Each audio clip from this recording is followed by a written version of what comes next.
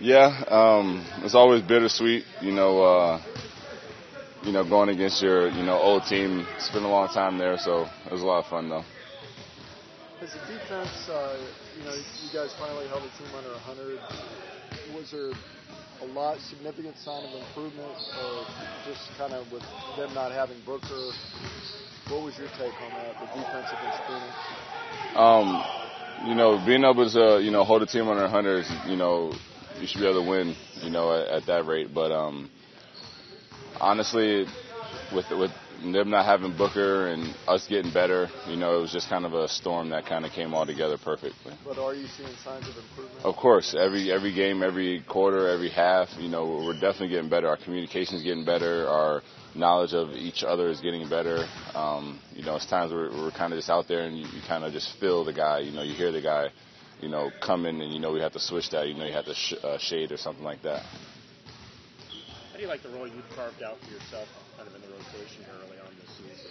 I love it. Um, you know, it's uh, it's right up my alley. You know, uh, go out, guard the best guy on the court, um, do the dirty work, help uh, make life easier. You know, for everyone else. Patty called you the, the grit guy. Is it a pretty fair assessment? Oh, I love it. Um, you know, whatever you know nickname you want to give me besides uh, soft. Anything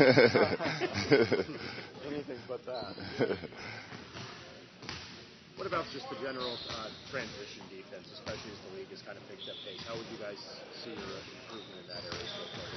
we we have to get better at that. We have to um, continue to communicate and learn that you know we in, in transition we don't have a man. You know you got to kind of get back and pick up whoever's closest to you. Even if a guard has to pick up a big, um, we just have to be you know knowledgeable of situations like that. You know, if, if Patty or Brandon gets back and they have a you know bigger person, we have to kind of shade a little bit more to them, or you know just just be on heightened awareness.